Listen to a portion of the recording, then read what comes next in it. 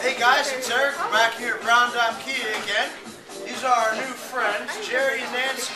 They came down for a special trade-in deal, and they're leaving today with a 2010 Kia Forte. They love it. Guys, how was your experience? Very good, very good. Awesome, awesome. What do we say here? We want to see